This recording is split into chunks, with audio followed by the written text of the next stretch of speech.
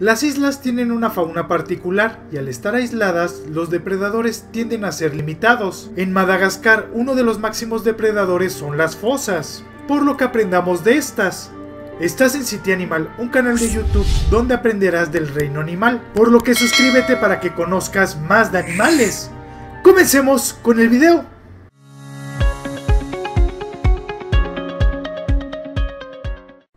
Estos singulares carnívoros son muy especiales, ya que con el paso del tiempo se fueron clasificando en una nueva familia, muy parecida a los felinos y a los vivérridos por su morfología, por lo que estos pasaron por mucha controversia, siendo mamíferos que viven en la isla de Madagascar, un tesoro natural ya que en ella alberga especímenes únicos que no han tenido muchos cambios. En el caso de este, viven en toda la periferia de esta isla, en áreas boscosas de las tierras bajas, por lo que sus principales lugares son manglares, pantanos o selvas con una gran cantidad de cobertura vegetal, estando desde el nivel del mar, es decir, pueden estar en las playas hasta un máximo de 2000 metros del nivel del mar. No llegan en medio de la isla, ya que en el centro se forma una gran montaña uno puede confundir su distribución con una amplia población. Lo cierto es que son poco comunes. Tienen pocos rasgos físicos que les permita distinguir, pero genéticamente sí lo son, habiendo 8 especies de Upleridae o malgaches, entre ellos las fosas. Su forma puede provocar que se vean más grandes de lo que realmente son, ya que de la cabeza a la base de la cola miden de 60 a 80 centímetros. Este engaño también se da por su cola, ya que solo esta mide casi lo mismo que su longitud. Su altura a la cruz no supera los 35 centímetros y llegan a pesar de 5 a 8 kilogramos. De hecho, en la película de Madagascar, que es donde la mayoría supo de ellas, tiene un grave error, ya que las vemos del tamaño de un león, pero no, son mucho más pequeñas. Su pelaje tiene una forma terciopelada que tiene un color que predomina casi todo su cuerpo, ya que se le puede ver con tonos marrones rojizos, aunque a veces se pueden tornar negruzcos. Tiene la condición de contar con su vientre más claro que su dorso.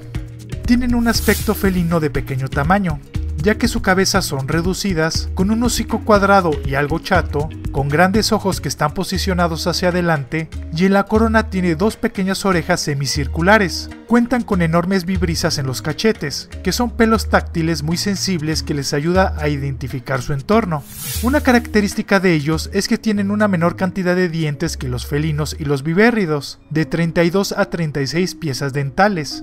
Sus cuerpos son muy alargados y delgados, pero al mismo tiempo son musculosos. Sumado sus colas largas les permite tener una vida acorde a los árboles, ya que su cuerpo largo les permite acomodarse para escalar de diferentes formas y su cola les ayuda a mantener el equilibrio.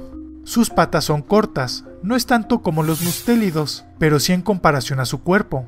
Tienen cinco dígitos en cada extremidad, donde todos tocan el suelo, y tienen varias condiciones particulares. Para empezar, sus huellas están casi desnudas y tienen una fusión por debajo de los dedos, sumado a que sus garras son semi-retráctiles. Esto les permite escalar con mucha soltura, ya que mantiene su filo para cuando lo necesiten, pero son semi-retráctiles ya que no se guardan completamente en los pliegues de los dedos, manteniendo la punta por fuera. Su dimorfismo sexual es muy complicado, ya que los machos son más grandes que las hembras, siendo muy difíciles de sexar, ya que para hacerlo hay que mirarlos para exponer sus órganos sexuales que se esconden en su pelaje en la parte anal.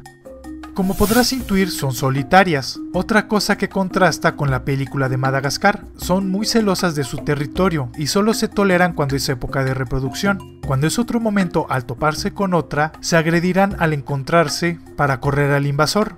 También son animales crepusculares a nocturnos. Esto es muy evidente por el tamaño de sus ojos. Ocasionalmente se le ve moviendo por el día, pero estos momentos los ocupan para descansar, donde ocupan varios sitios para dormir y rara vez reutilizan el mismo, donde pueden quedarse en una rama para dormir, algún hueco o entre la bifurcación de los árboles. Este despreocupado hábito de dormir en cualquier lugar se da porque no hay depredadores que las coman de adultos, estando en la cima de la cadena alimenticia en su región. En las noches se movilizan en los árboles para encontrar su alimento, escalando por diferentes ramas y troncos. Llegan a brincar ágilmente y son muy sigilosas, estando muy adaptadas a su entorno, que les ayuda mucho con su conformación física. Viajan de 2 a 5 kilómetros diariamente, sus territorios son algo extensos, tienen un rango de 5 kilómetros cuadrados, marcando su periferia con las secreciones para delimitar su extensión, donde defienden ferozmente su territorio con mordidas y zarpazos, siendo muy ágiles y celosos como les dije.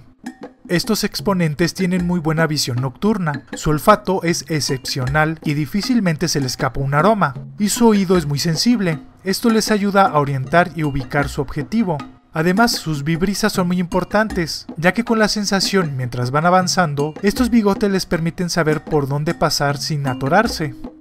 Son carnívoros muy eficaces y el máximo depredador regional. Estos buscan desde pequeños mamíferos, aves, reptiles y anfibios. Además son depredadores de lémures, los singulares primates habitantes de la isla.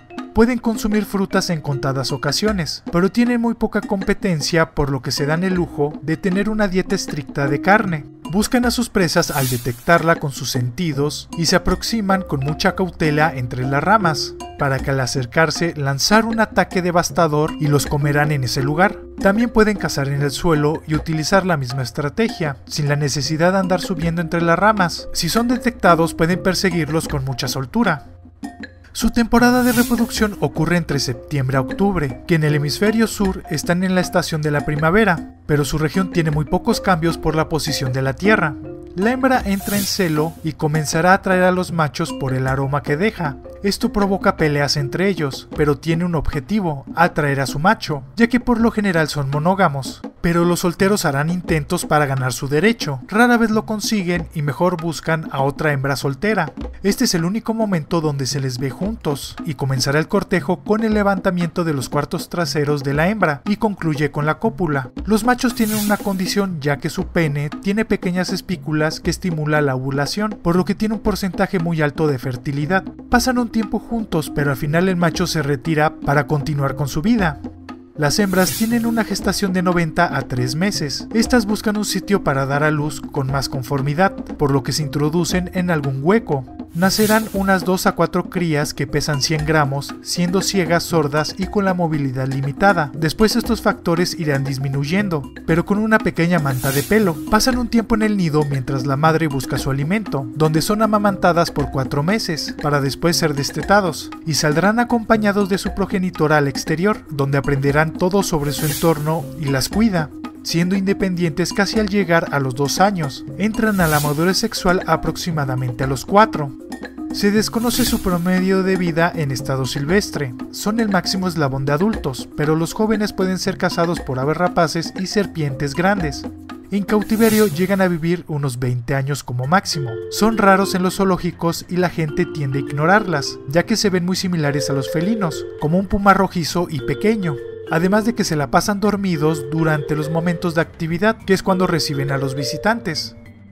Se encuentran en el estado de vulnerable. Si bien son raras, se calcula ha disminuido su población un 30%. Esto se da por algunos problemas. El principal es la transformación de su hábitat por parte del ser humano, y al ser altamente dependientes de los árboles, su población se ve fragmentada y les impide llegar a encontrar su alimento, otro factor es que son muy poco queridas, ya que al alterar su ecosistema, estos se ven en la necesidad de entrar en las granjas y consumir algunos animales domésticos, como gallinas, desencadenando que los capturen y los maten. Además se dice que atacan toros y cabras, pero es sumamente raro, ya que estos animales son enormes en comparación, pero actualmente se están formando diferentes reservas para cuidarlas y esto ha creado un mercado interesante que ayuda a todos.